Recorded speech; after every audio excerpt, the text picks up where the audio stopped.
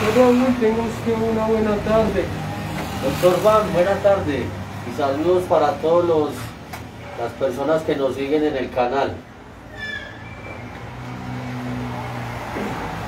No, quería que habláramos un poquito sobre dos casitos clínicos de estos días.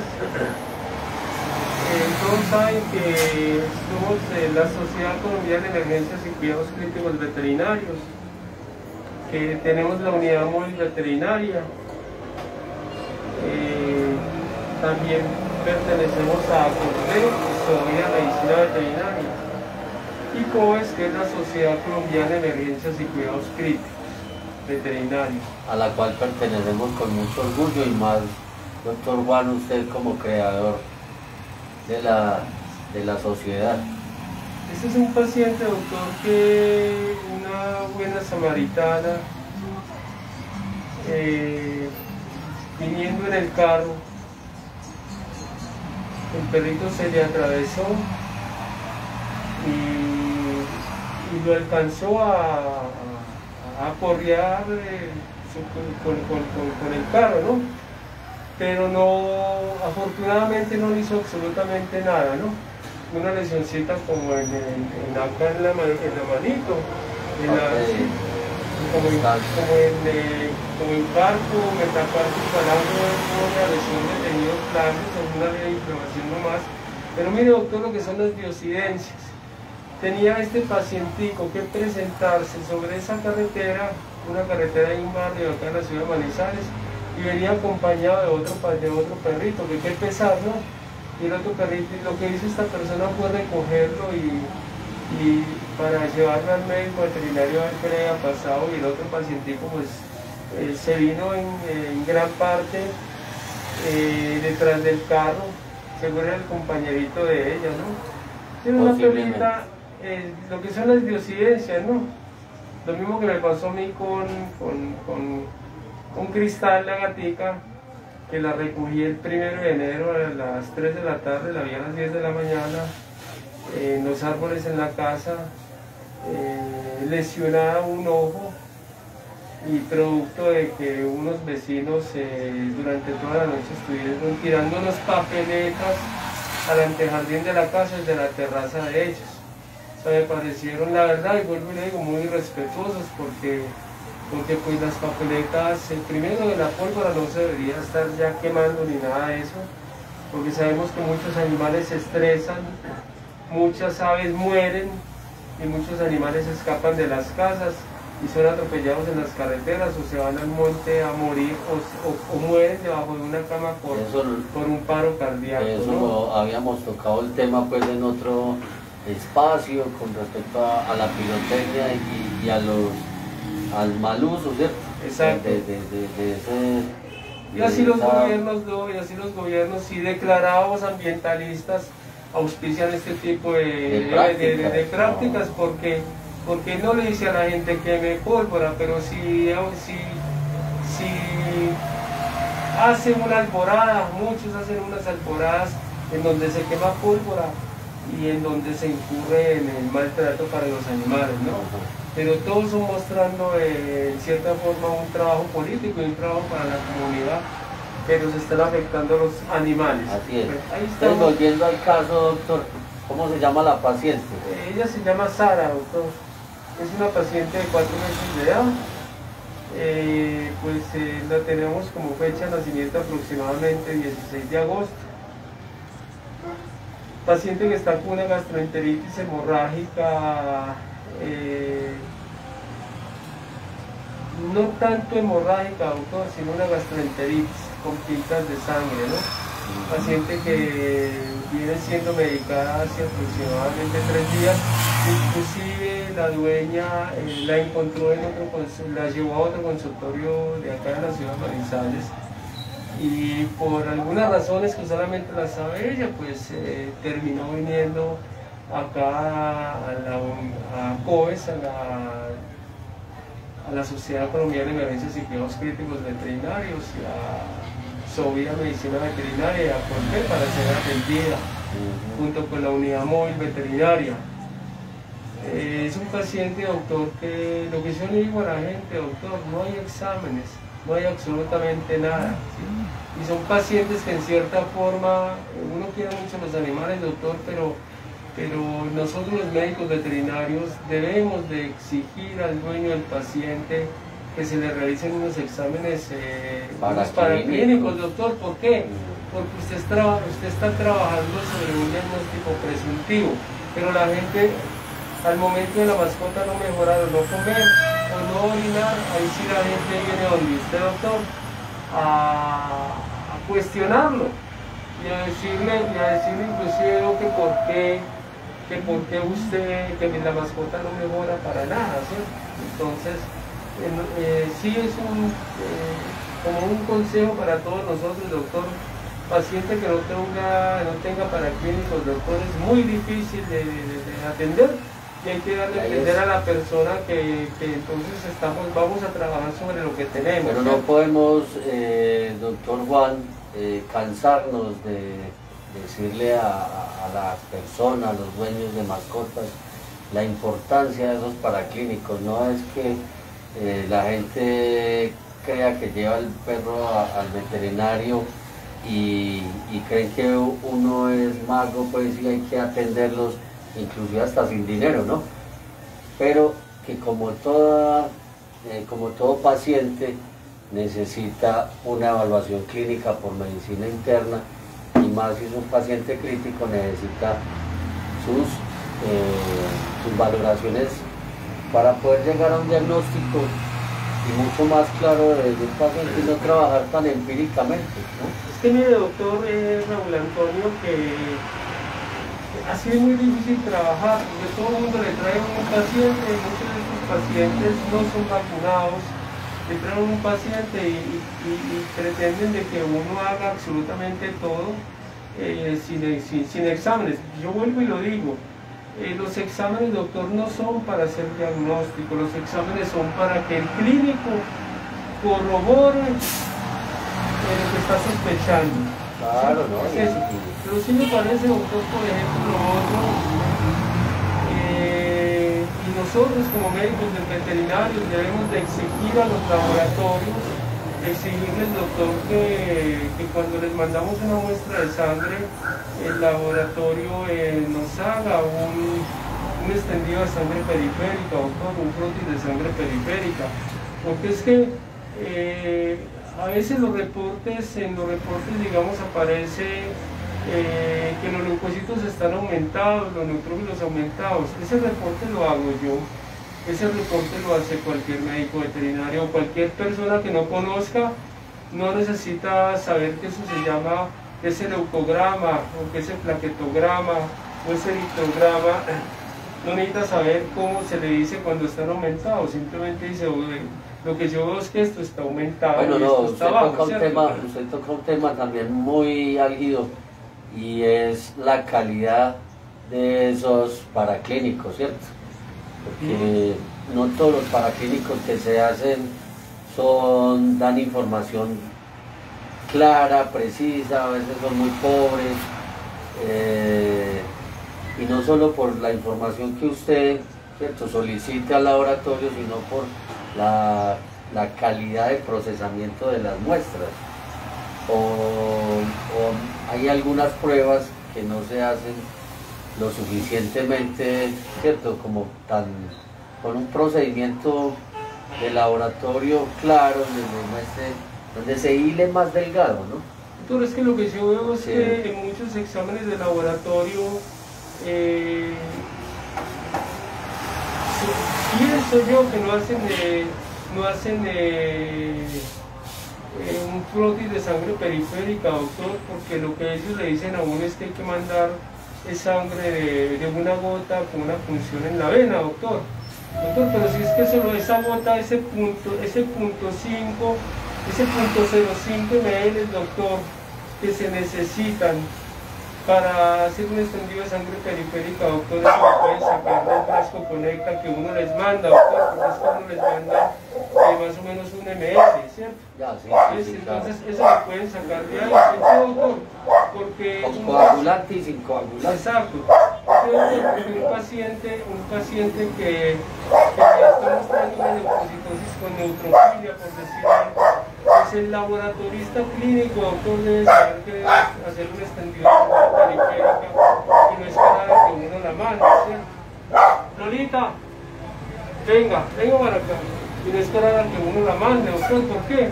Porque es que una leucocitosis con doctor, no está hablando de un proceso séptico, un proceso inflamatorio. Lolita, pero yo de donde, por ejemplo, eh, si, si, no hay un extendido de sangre periférica, doctor, no me está mostrando qué tipo de neutrófilos hay, cuál es la forma de los neutrófilos. Si hay la morfología, la morfología, clara. cuadro blanco, doctor. No me las está mostrando, ni me está mostrando la morfología roja ni nada de eso, doctor. No me dice si hay células no, no me dice si hay equinocitos, no me dice absolutamente nada. Lolita, no dice absolutamente nada, doctor. Entonces, es, es, a veces son exámenes muy raquíticos. En donde, la calidad de la pues, información, eh, sí. ahí digo yo, muy pobre porque sí, falta de precisión entonces, doctor, en los parámetros. Entonces a veces uno dice, a veces uno dice, eh, doctor, pero es que monocito, doctor, doctor, monocito se, se debe ver en toda muestra. En toda muestra se deben de ver monocitos y ocinófilos, un basófilo pues son raros, pero la mayor parte de las muestras debe mostrar, ¿por qué? Porque yo necesito saber si, por decir algo, esa neutrofilia tan violenta, por decir algo, un paciente tiene una neutrofilia demasiado alta, yo necesito saber si hay monocitos o no. ¿Cómo es la forma de los monocitos? ¿Cómo está, eh, cómo está eh, qué cantidad de monocitos hay? ¿Por qué, doctor? Ay, que los rodea, ¿no? Porque yo necesito saber, doctor, si hay lisis tisular o no, o sea, si hay destrucción o lisis de ese tejido. Entonces eso me lo muestra un monocito, pero a mí no me lo muestra, lo único que yo veo es que es un proceso inflamatorio y no me dirige a pensar que puede ser un proceso neoplásico o un proceso en donde hay lisis tisular, por ejemplo, destrucción del tejido, o hay quizás, o quizás esa leucocitosis es por un hongo, por ejemplo. La verdad que, la verdad que son, cosas por seguir mejorando nuestra clínica diaria. clínica diaria y en los laboratorios y todo eso, que siempre se han extendido de sangre periférica, pero, pero a veces le dicen a uno de que hay que mandar una gota por aparte, doctor. Si es que el extendido de sangre periférica es de vena, y entonces porque no lo sacan del tubo conecta, que uno, que uno manda para que se hagan las cosas mucho mejor y entre todos vamos mejorando claro, no, eso está bien, como, eh, como una crítica constructiva para seguir mejorando. Sí, doctor, porque si uno no sabe cómo están las bandas y la desviación está a la izquierda, si es regenerativa, si no es regenerativa, doctor, es correcto. Eh, queda uno puede ser un examen muy, muy, muy, superficial, muy, superficial, muy ambiguo y queda uno eh, de igual manera eh, si se afecta. Con las sospechas, Tal vez te hablo con las mismas dudas con examen o sin examen. Y se afecta, doctor, ese, ese diagnóstico también en el, en el paciente. Entonces sí queríamos mostrar, eh, que, que, sí quería hablar sobre eso. Eh, nosotros deberíamos también de ahondar en la toma de muestras, eh, porque uno muchas veces, doctor, aquí tenemos un paciente Sara en la toma de muestras, muchas veces, doctor, con solo, doctor, pulsar, se activa la cascada de coagulación y ya ese paciente se están presentando trombos que nos va, que nos va a alterar el taquetograma, por ejemplo, del paciente.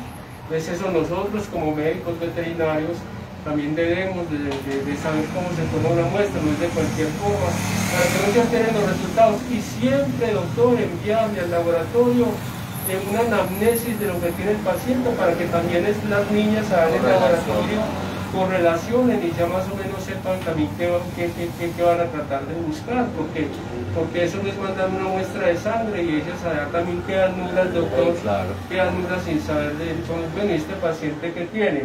Cuando se conoce la anamnesis del paciente y qué le está pasando al paciente, los signos o los síntomas, pues ya ellas también pueden trabajar mucho mejor y pueden saber cómo dirigen ese, ese examen de la, esas muy conjuntamente con los laboratoristas y también que ellos, doctor, eh, no nos exijan que porque uno no mandó un extendido de sangre periférica entonces no se hace.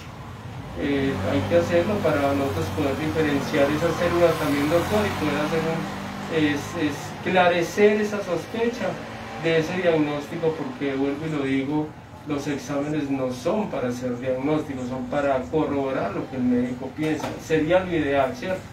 Es eso, doctor, entonces vamos a pasar a mirar a la gatita. Entonces, ¿qué le parece si nos toca que suspendemos un minutos, ¿cierto? Oh, para Entonces aquí tenemos... Estamos en vivo y, pues ya la gente nos entenderá que estamos aquí transmitiendo el y COVEX. Entonces aquí tenemos a, a, Cristal, quería mostrarles a Cristal, muchos de ustedes vieron a Cristal, a Cristal el, el, ojito. Un saludo para Nir Schweizer. Y nos está viendo otro amigo desde Rusia. ¿sí? Pablo. Ahí está. Aquí podemos ver esta gatica que fue recogida el primero de enero estaban los árboles en la casa, ya habíamos hablado que le habían tirado unas papeletas, algún médico veterinario me sugirió que por qué no le hacíamos enucleación. Y yo le dije, doctor, ¿por qué? Si los ojos rojos tienen muy buena eh, eh, resolución, vamos a tratarla, doctor, ¿cómo hay que tratarla? La estamos tratando con mucinomiméticos, estimulantes de la mucina, para recuperar ese epitelio corneal, y realmente esa córnea está muy muy recuperada porque era un paciente que estaba haciendo una proptosis inclusive, estaba haciendo un coloboma, estaba haciendo una, un infema eh, con un hipopión. Y ya pues eh, lo estamos tratando doctor con ofloxacina, ofloxacina más, eh, más con un sulfato que es el mucino y también lo estamos tratando con otro, eh, otro eh, antibiótico y un antiinflamatorio. Bueno, doctor, pero eh, con respecto al manejo de esos antibióticos, antiinflamatorios, me contaba que tomaste la decisión de de pronto suspender un poco ese tratamiento con el fin de que de, verla a ella de pronto ¿cierto? en esta transformación sí, doctor, lo que pasa es que, lo que, pasa es que la gatita está con una enfermedad inflamatoria intestinal. Entonces no sabemos si de pronto, si de pronto ella estuvo con un tratamiento prolongado con antibióticos, inclusive yo también le continué el tratamiento eh, con antibióticos por la diarrea que tenía. ¿sí? La gatica pues ha estado con pañal y todo eso, pero decidí suspender antibióticos, inclusive la tuve con un antimicótico eh, pensando, y, nada de esto doctor mejoraba la diarrea. Es un pacientico que la química sanguínea está normal, pero es un pacientico que está igual, igual que una neutrofilia violenta, con una leucocitosis, de que no mejoraba con antibióticos, decidí colocar en eh, tratamiento antifúngico, se le hizo una coproscopía en la cual apareció flora vacilar aumentada, que no es más que bacterias, y, azúcares reductores de, negativo. Y continúa un poco con la diarrea, pero es un paciente que decidí, doctor, eh, suspender tratamientos eh, antibióticos y de todo tipo, y más bien tratarla eh, con un antiinflamatorio, doctor, potente para disminuir la inflamación intestinal. Eso es lo que se está haciendo para mejorarle, doctor, el, proceso de esa diarrea, porque muchas veces cuando son tratamientos tan prolongados, doctor, eh, es mejor quitar todo ese tipo de antibióticos y dar un alimento que tenga probióticos para que el paciente mejore esa enfermedad inflamatoria intestinal. Claro, porque Juan, de todas maneras, eh, pues como comentamos también en alguna oportunidad, el tema de las diarreas frustrantes en gatos son tantas las etiologías, eh, bacterianas, virales, parasitarias, entonces eh, autoinmunes, entonces eh, fúngicas, ¿cierto? Eh, protozoáricas. Entonces son tan frustrantes porque después de uno hacer varios tratamientos y que no respondan, no reaccionan, hay que tener igualmente también la paciencia para poder llevar un tratamiento claro y preciso o para saber en qué momento se pueda cambiar o en qué momento se pueda suspender. Bueno, doctor, entonces más o menos cierto, eso era lo que queríamos hablar. Eso es lo que queríamos Igualmente un comentar. paciente con una neutrofilia con leucocitosis, en donde no hay extendido de sangre periférica, doctor, volvemos a lo mismo. Entonces, eh, sí decir a los laboratorios que por qué les tenemos eh, que mandar una gota de extendido de la oreja y por qué no la sacan del- de la sangre eh, venosa que se tomó cuando se le mandó el tubo de ECTA, inclusive eh, el tubo sin ECTA también para química sanguínea, también se puede tomar la, la- la- sangre y hacer el, hacer el extendido, doctor, Eh, pues para facilitar mucho más, para que nos diferencien qué tipo de neutro, o sea, cómo están las células, si, si hay bandas, como si hay monocitos.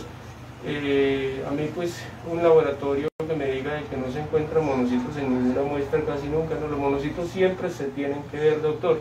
Y es muy importante lo mismo los eosinófilos y las otras células, las bandas. Por eso el extendido de sangre periférica. Y nosotros como médicos veterinarios pues exigirlo también, ¿no, doctor? Sí, claro, que no sea un cuadro hemático en donde diga está normocrómico, normocítico, normo, no sé qué, ¿sí? Y donde hay una leucocitosis con neutrofilia y eso no dice absolutamente nada, ese reporte pues lo puede hacer uno, entonces para el laboratorio sí que nos mande los, los extendidos de sangre periférica, que no, que no nos exija que lo tenemos que mandar en una gota par. Es eso. Bueno, doctor, para, para rematar y terminar de hablar de, de, de, de este... Se llama Bris eh, Cristal, ahí está siendo tratada eh, con drogas para el corazón. Este es un ojo rojo, que es un ojo pues, que está mostrando una viabilidad. Que ¿no? va con muy buena evolución. Sí, todo, sí. Perfecto. Bueno, no siendo más, muchísimas gracias a las personas que están conectadas, eh, que siguen nuestro canal, siguen al doctor Juan Carlos Chica, siguen a COEX, siguen a COSBET. Les recordamos que la unidad móvil veterinaria 24 horas. eh, al número 304 431 59 49 nos pueden llamar y, y vamos y atendemos las emergencias a Manizales, Chinchiná, eh, Villa María, Palestina. Palestina, Neira, y estamos aquí en la ciudad siempre muy atentos a lo que nos requieran. Y bueno, no siendo más, doctor Juan Carlos, No recuerden que somos médicos veterinarios, nos preparamos para salvar vidas camino a la excelencia. Nos despedimos desde la Sociedad Colombiana de Emergencias y Cuidados Críticos Veterinarios, desde ANCOSVE, la Unidad Móvil Veterinaria y Sobria Medicina Veterinaria.